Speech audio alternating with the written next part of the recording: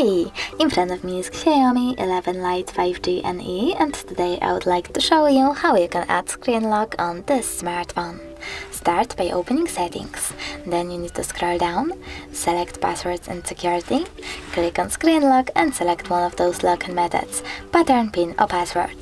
Click at the chosen one, then wait 5 seconds and click on got it in this pop-up. Now you need to enter your login method and repeat it. Then click on confirm at the bottom right corner. And if you wish to add your fingerprint, you can do that by clicking on add and following the presented instructions. But I don't want those, I will go with cancel. And now when I turn off my screen, then turn it back on, icons that pattern is now required. Thanks so much for watching, if you enjoyed this video, leave a like, comment and don't forget to subscribe. Bye!